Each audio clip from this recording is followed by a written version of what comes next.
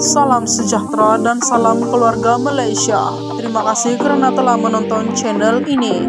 Channel ini menyampaikan berita-berita hangat mengenai artis dalam dan luar negara. Mari kita tonton isu-isu hangat hari ini. Jangan lupa tekan like, share, dan subscribe. Dan jangan lupa juga tekan tombol lonceng agar Anda tidak ketinggalan dengan berita-berita hangat selanjutnya. Berita hari ini dipetik dari media hiburan yang bertajuk Netizen Tegur Nampak Macam Baby Bam Istri kepada Hakim Rusli. Selain Hakim Rusli, istri istrinya Anis Sofia turut tidak terlepas daripada menjadi perhatian netizen. Baru-baru ini menerusi perkongsian video di akun TikTok miliknya, Anis telah ditebak persoalan mengenai adakah dia kini sedang hamil. Menerusi video tersebut, Anis dilihat menggayakan pakaian gaun warna hitam berkilat buat tatapan pengikutnya. Menjawab pertanyaan tersebut, Anies menafikan perkara itu sebaliknya mengatakan perutnya sedikit buncit pada ketika itu.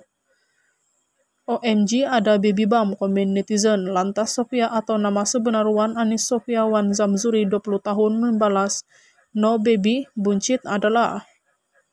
Sekadar info, Hakim 24 tahun dan Sofia mendirikan rumah tangga pada 19 November 2021. Itu saja info hari ini. Sekian dan terima kasih.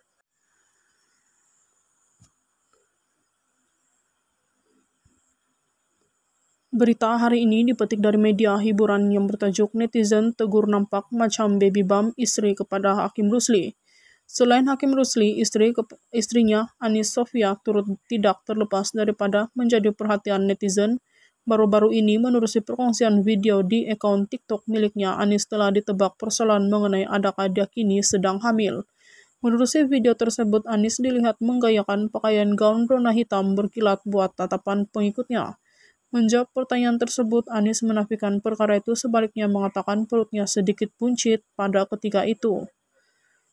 OMG ada baby bump, komen netizen. Lantas Sofia atau nama sebenar Wan Anis Sofia Wan Zamzuri 20 tahun membalas, No baby, buncit adalah. Sekadar info, Hakim 24 tahun dan Sofia mendirikan rumah tangga pada 19 November 2021. Itu saja info hari ini. Sekian dan terima kasih.